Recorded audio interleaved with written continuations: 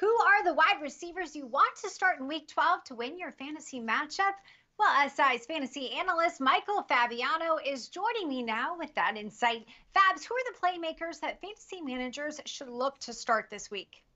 Yeah, I like Brandin Cooks. He's been very quietly consistent, uh, posting double digit fantasy points in five of his last six games.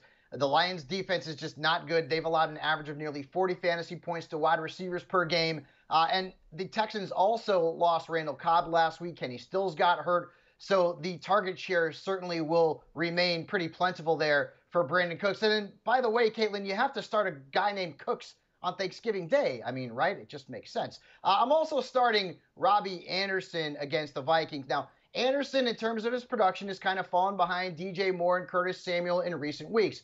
But Anderson still leads all Panthers wide receivers with a 26.5% target share. And the Vikings have allowed 17 touchdowns and the fourth most fantasy points to wide receivers.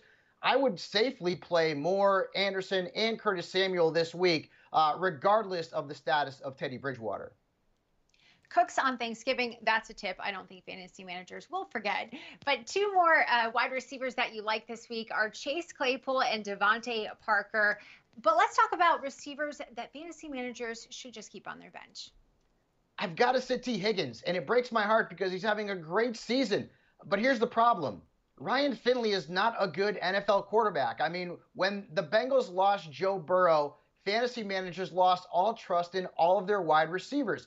Finley's really looked bad during his time under center for the Bengals. He's had three starts, he's had two touchdown passes, three interceptions, and a 55.5 passer rating. That is not good. So, unfortunately, Tee Higgins is a fade for me against the Giants. And then Marquise Brown. This is not a sit him, this is a cut him. He is still owned in 82% of ESPN leagues. Why? He's done nothing this year. He's averaged fewer than five targets over his last four games. He was held without a catch last week, had no points, folks, and the Steelers' defense held him to just three yards in week eight. Hey, guys, I know that we had high hopes for Hollywood Brown, but uh, this is a guy who's looked like he's been on skid row. He needs to be on the waiver wire, folks, not in your starting lineup and not even on your roster at this point. All right. Well, also on your sit-em list is Corey Davis and Jerry Jeudy. Fabs, as always, appreciate your insight and you joining me. For more of Sports Illustrated's award-winning weekly player rankings, make sure to get your membership to SI Fantasy Plus for just $14.99 a month.